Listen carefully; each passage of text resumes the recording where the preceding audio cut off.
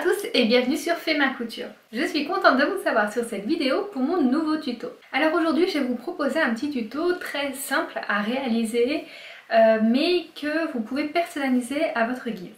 Je vais vous proposer tout simplement de faire une cape de bain ou sortie de bain je ne sais pas vraiment comment appeler ça, mais voilà, ça va être le thème de cette vidéo. Du coup, dans le tuto, vous allez, avoir, vous allez voir pardon, d'autres mains qui ne sont pas les miennes, car pour une fois, j'ai fait un tuto à quatre mains. En effet, mon ami va pouvoir offrir la cape de bain réalisée à la fin à une de ses amies. Sans plus attendre, je vous laisse découvrir le tuto.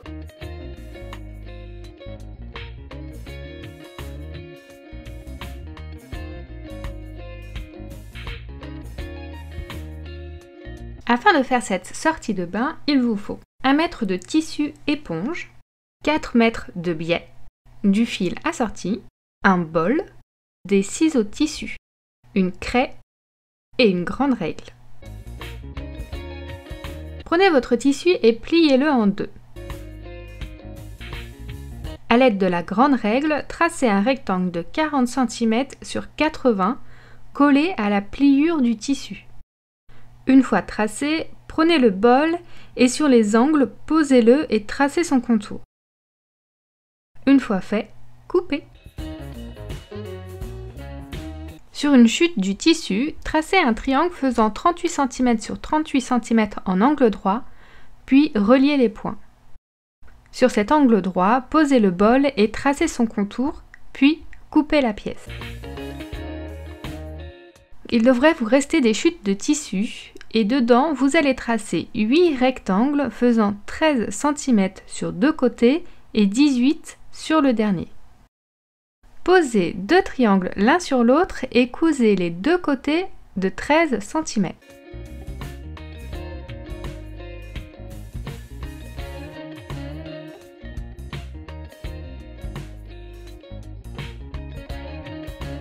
Vous devez en avoir 4 au final.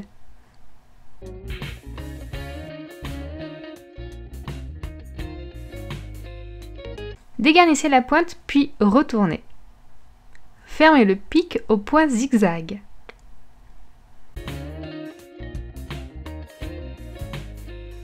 Prenez votre grand rectangle et posez un des pics à quelques centimètres de l'angle arrondi et coudre en faisant un point zigzag plus une ligne droite.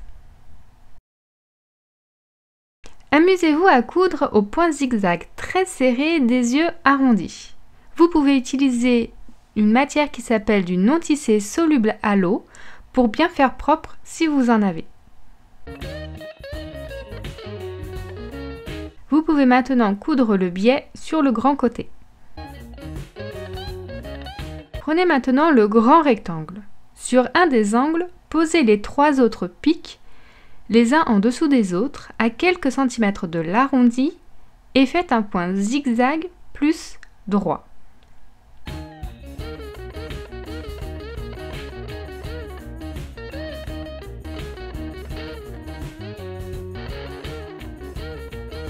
Une fois les pics cousus, vous pouvez prendre le triangle et le poser sur le même angle. Afin d'éviter que ça ne bouge, faites un premier point de bâti, puis vous pouvez enfin poser le biais tout autour de la cape.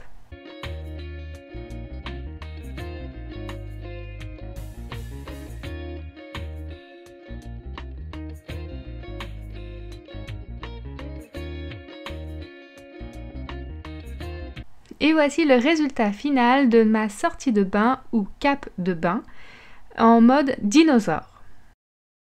Amusez-vous à jouer sur les couleurs sur votre cape de bain et pourquoi pas à modifier un petit peu les pics, les faire plus grands ou pourquoi pas en rajouter d'autres. Donc voilà ma cape de bain euh, spéciale dinosaure.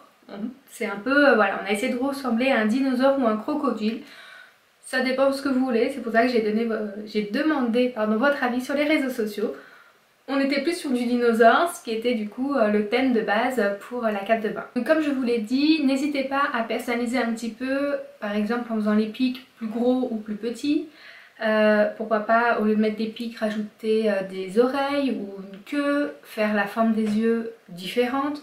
Il y a énormément de possibilités. Bien sûr, je vous conseille surtout, euh, si vous faites comme nous sur cette vidéo, si vous prenez un tissu éponge euh, en couleur, vraiment je vous conseille de le laver avant car on ne sait jamais, la couleur peut déteindre sur du tissu éponge et si c'est le cas, lavez avec euh, du gros sel pour pouvoir fixer la couleur. Alors normalement c'est un gros sel spécial fixation mais on n'en trouve pas spécialement partout. Si vous arrivez à en trouver sur internet c'est très bien au moment où vous commandez votre tissu ou dans certains magasins vous pouvez les, les trouver mais sinon même un gros sel marin de supermarché que vous trouvez suffira largement. Je pense que pour 1 mètre de tissu, 250 g de gros sel devrait suffire.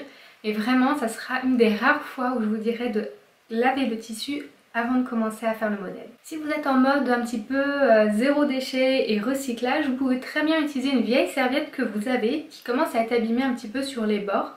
Vous l'utilisez, vous la lavez bien évidemment pour euh, un petit peu enlever peut-être les poussières ou le parfum et vous pouvez du coup faire la cape dedans si elle est assez grande et pour euh, du coup après personnaliser, vous pouvez pourquoi pas avec des chutes de tissu que vous avez chez vous, créer vous-même le biais. C'est ce que j'avais fait moi sur une ancienne cape de bain que j'ai réalisée il y a à peu près deux ans.